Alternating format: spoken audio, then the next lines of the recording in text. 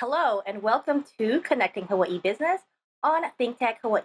My name is Kathleen Lee, owner of Kathleen Lee Consulting, and I am your host for this program. ThinkTech Hawaii is currently live streamed on thinktechhawaii.com as well as on ThinkTech Hawaii's Facebook and YouTube channel. And for viewers out there who are watching us live, you may email us questions during the show at questions at thinktechhawaii.com. Today, we are going to talk about financial wellness in Hawaii, and I am glad to introduce the Vice President of Member Growth Services from Hawaii USA Federal Credit Union, Tanya Lee. No relation. Welcome to the show, Tanya. Hi, good afternoon, Kathleen. Thanks for having us. Absolutely. Thank you for being on. So, could you tell us a bit about yourself before we launch into our discussion on financial wellness? Sure, absolutely. So, like you mentioned, my name is Tanya Lee. I'm the Vice President of Member Growth Services here at Hawaii USA Federal Credit Union. I am a product of this beautiful state. I grew up in Aiea. I'm a graduate of Aiea High School. Um, I did a small stint in the mainland as I went um, there for college and then came home to stay. Um, I joined Hawaii USA uh, quite some time ago, about 20 years. I've been with the credit union. Um, and really, it's been um, something that I love to do. It drew me, made me want to stay with the credit union. Um, and really, at that is the heart of how we treat our members and our purpose and our mission. And so, that in a nutshell is a little bit about me.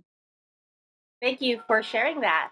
So, tell us a bit more about Hawaii USA Federal Credit Union. Yeah, so we've been in business for 85 plus years. I think it's actually 86 now. Um, and we started off from very humble beginnings. We were the Teachers Credit Union. So our name used to be Oahu Teachers Number Three.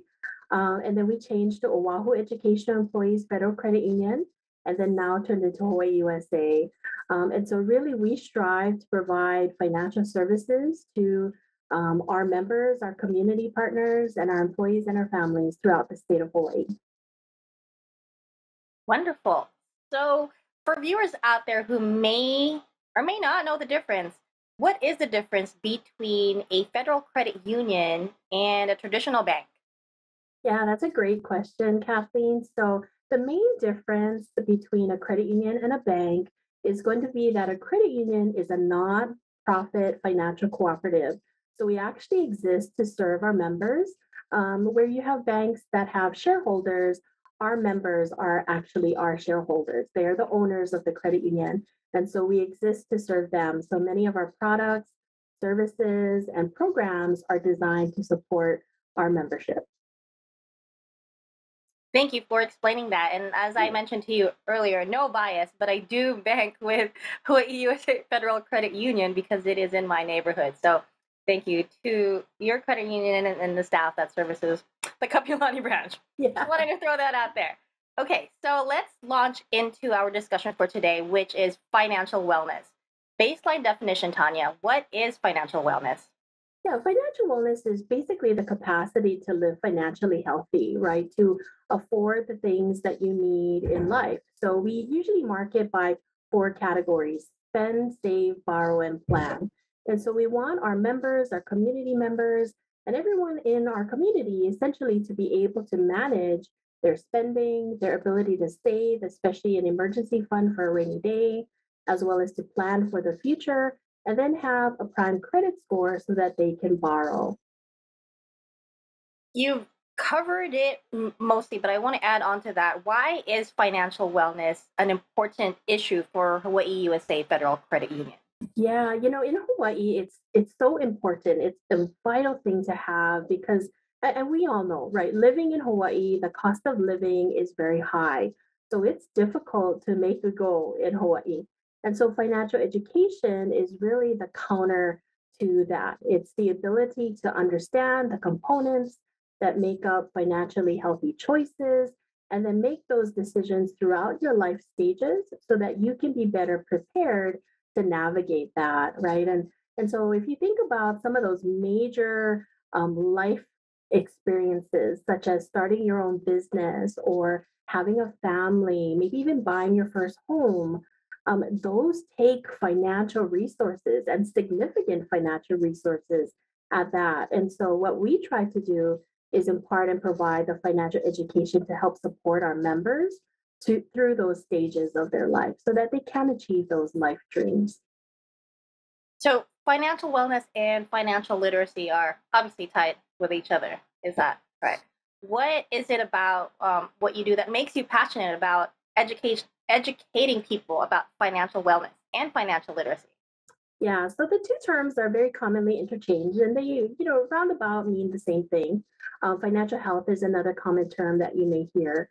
Um, and really, you know, I, I'll share from my personal experiences first. So I started with the credit union way back when I knew absolutely nothing about um, banking or credit or any of that. And so I come from very humble beginnings. I didn't have a lot growing up. Our family was economically challenged.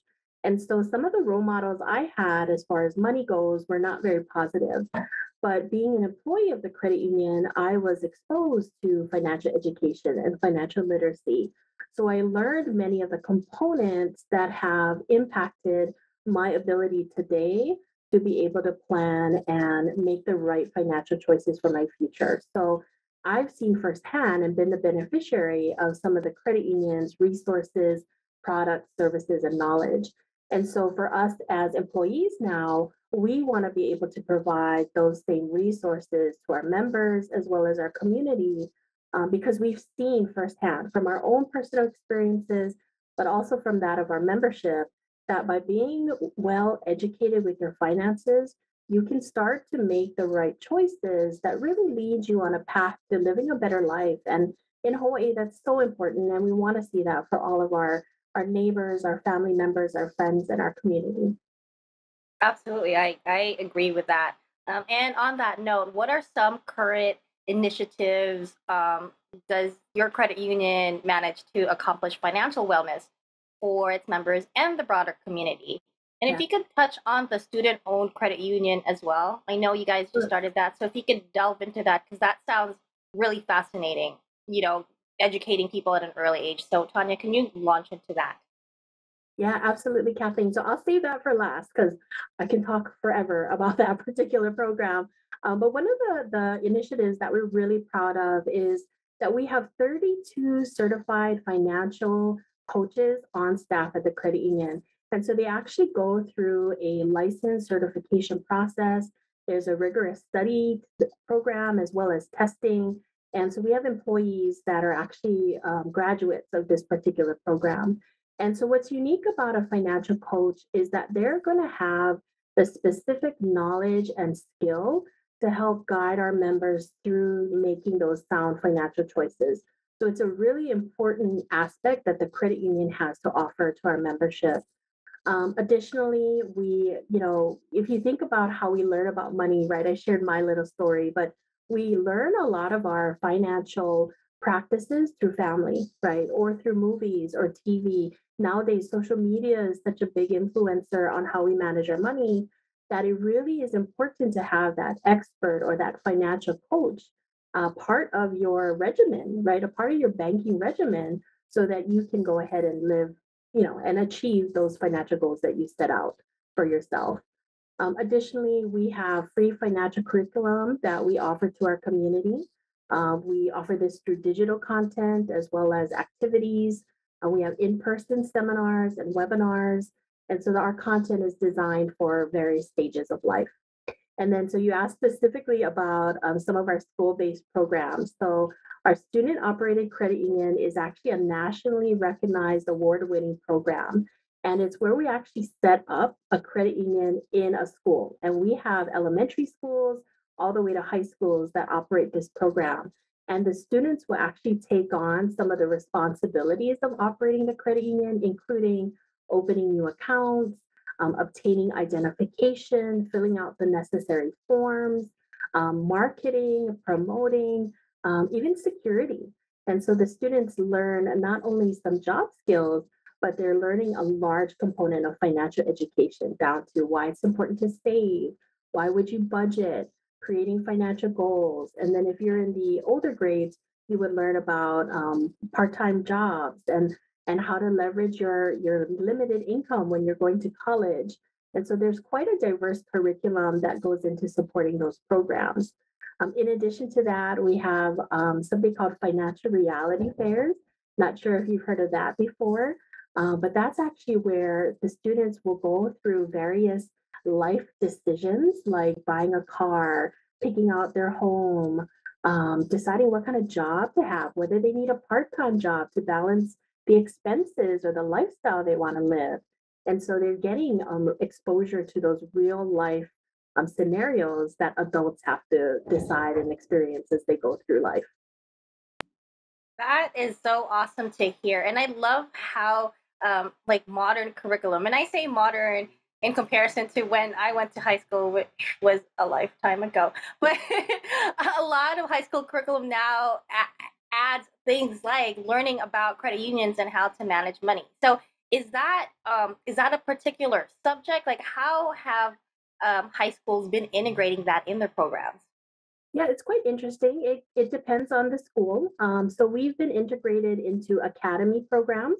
Um, so some of our schools actually have uh, you know, accredited academy programs that they run the student operated credit union through.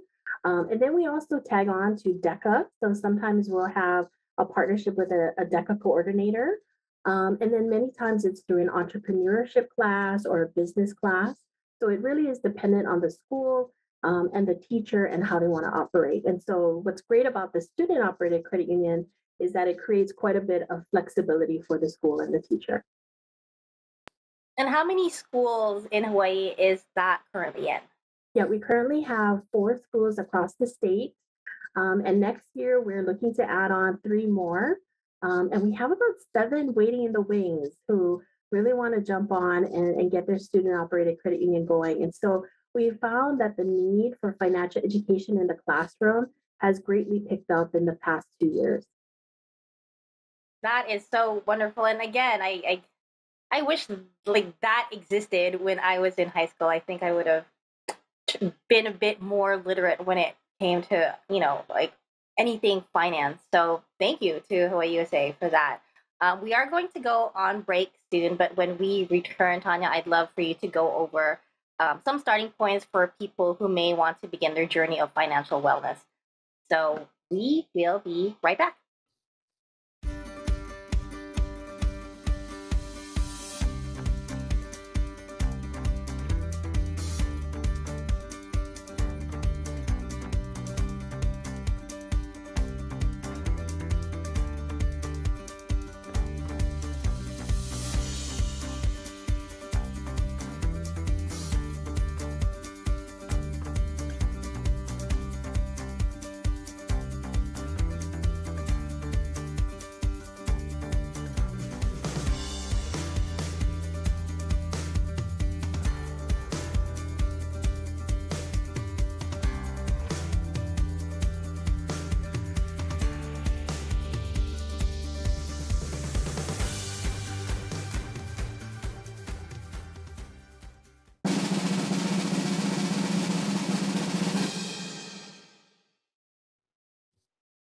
Welcome back to Connecting Hawaii Business on Think Tech Hawaii. Today we are discussing financial wellness in Hawaii with Tanya Lee, Vice President of Member Growth Services from Hawaii USA Federal Credit Union.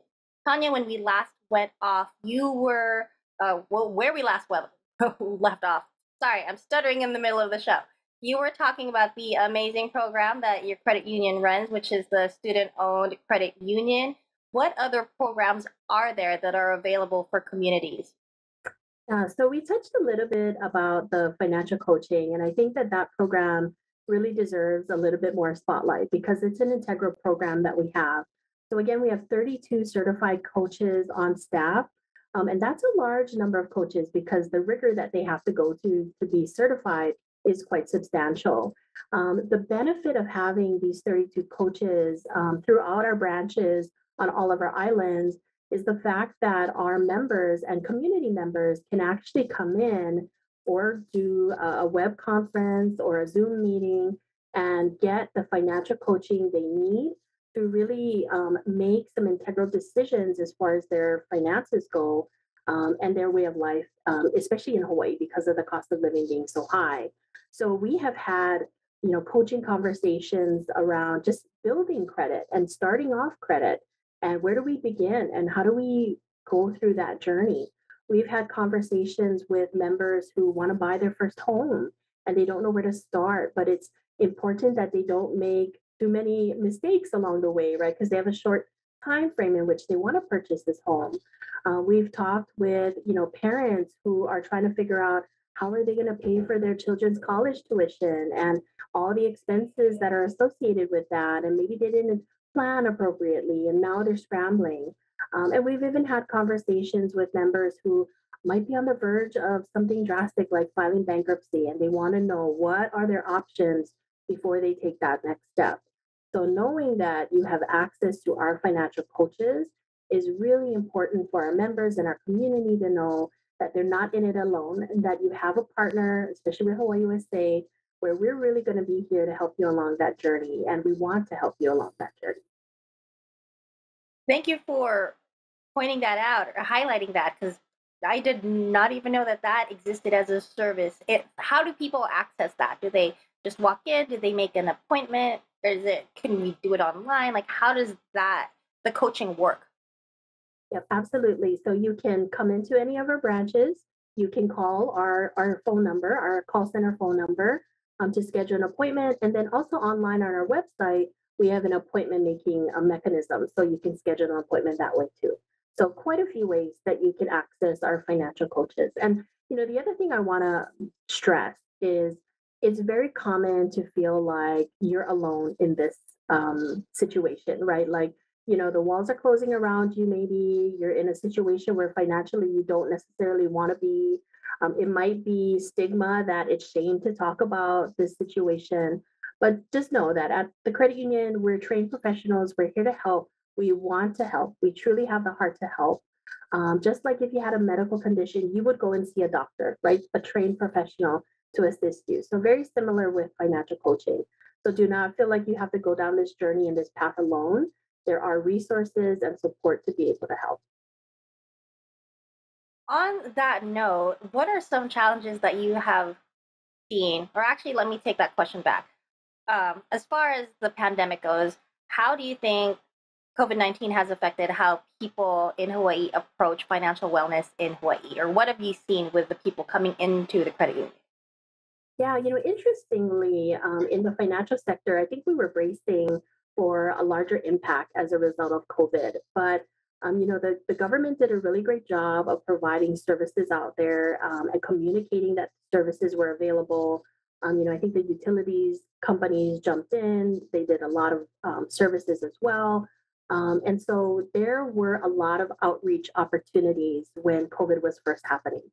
What we are starting to see now, though, is as our way of life starts to get back to some type of normalcy, that we are experiencing an uptick in some of the need that is out there. Um, and so it's again coming back to knowing that you have um, resources available to help, um, that you do not need to struggle through some of the financial hardships that you're going, currently going through alone.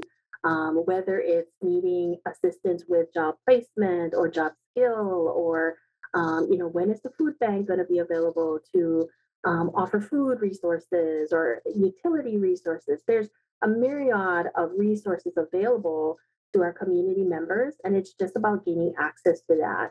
And so, again, not to sound like I'm repetitive, but our financial coaches are all well educated in the resources that exist for our community. And so, when you sit down and talk story with a coach, um, and you kind of share your current situation, they will be in the best predicament and situation to provide you resources and refer you out to other social services if needed.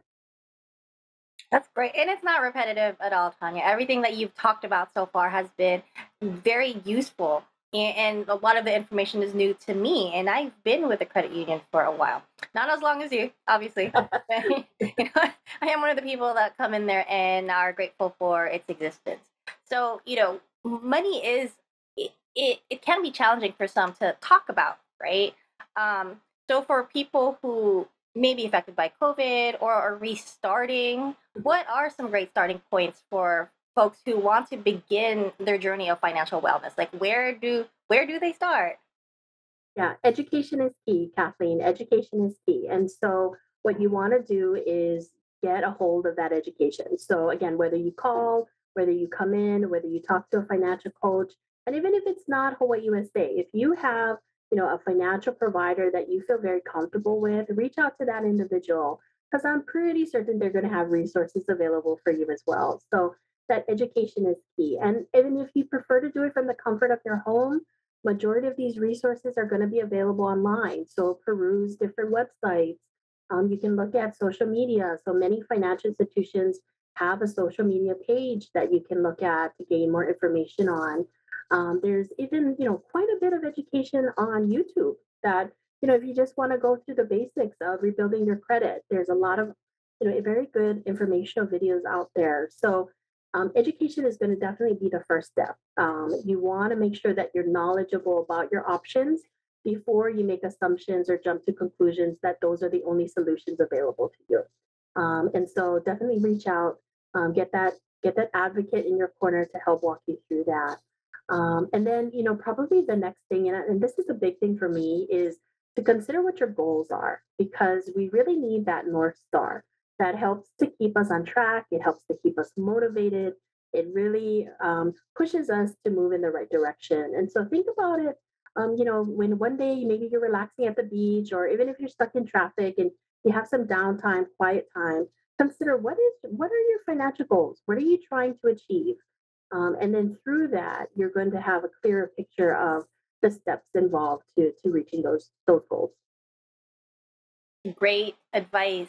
Um, is there anything else that you would like to add in the few minutes that we have left on the show that you would like to share with our viewers out there? Yeah, I would just say that, you know, financial wellness, financial education, financial literacy, financial health, whatever you want to call it, um, it is a journey. Um, it does not necessarily start and stop. There is no graduation ceremony at the end of it. Um, we go through many stages throughout life. And so we're never going to be either too experienced or too inexperienced to start a financial journey.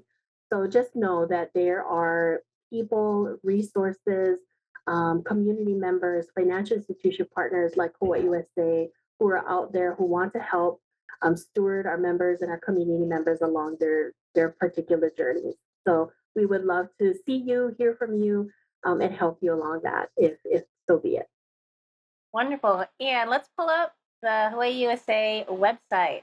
Tanya, if people would like to learn more about Hawaii USA, or if they would like to talk to you more, how do they contact you? Yeah, so if you go onto our website, you can look at our contact us page um, and simply just fill out the questionnaire that actually comes directly to my department and my area. Um, so we'll be we'll be the ones to receive that inquiry and we'll be happy to reach out. And if you reference the show, then we'll know specifically that you know you're interested in financial education. Wonderful. Thank you again, Tanya Lee, Vice President of Member Growth Services for Hawaii USA Federal Credit Union, for joining us on today's show to talk about financial wellness in Hawaii. And thank you to Jay Fidel and the staff at ThinkTech Hawaii as well for making shows like this possible. Today we had Haley and Michael helping us out. Until next time, aloha.